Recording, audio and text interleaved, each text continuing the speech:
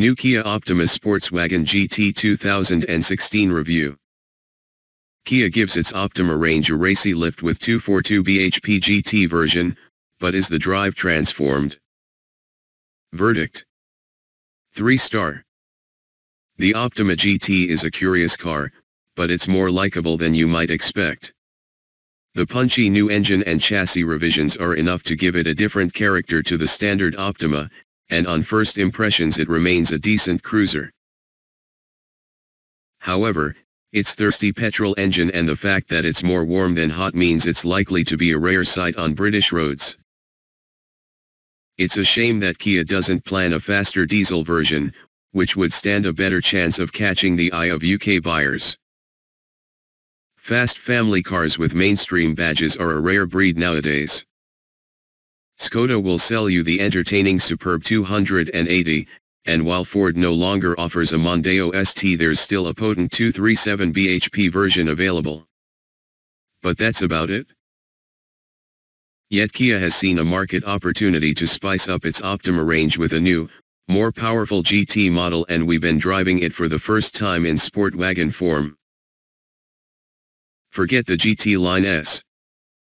This full-fat GT isn't merely a glorified trim level with a bit of sporty design tinsel.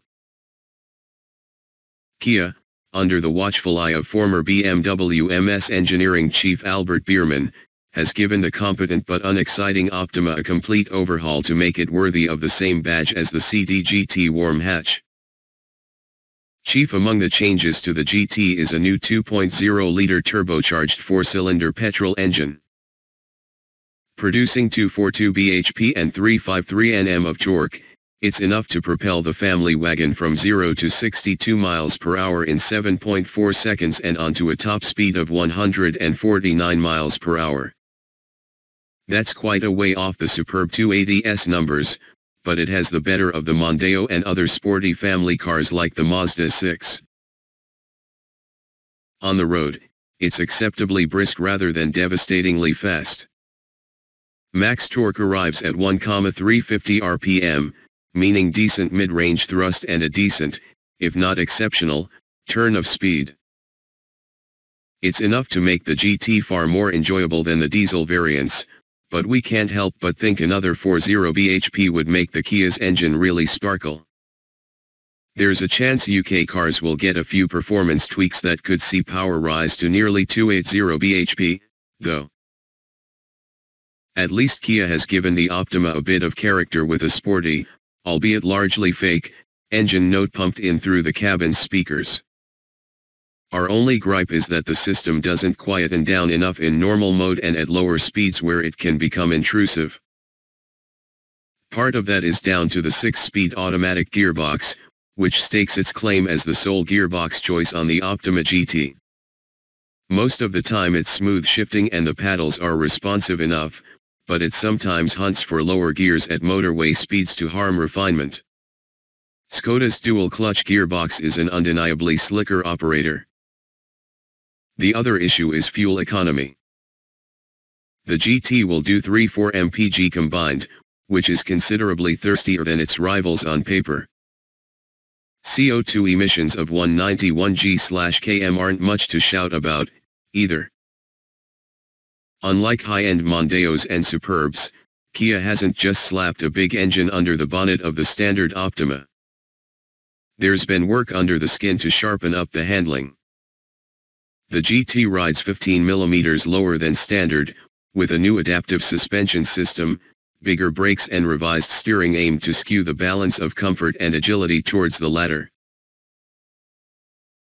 Although icy weather on our first drive in Germany meant it was tricky to push the Optima to its limits, we could still feel the improvements Kia has made.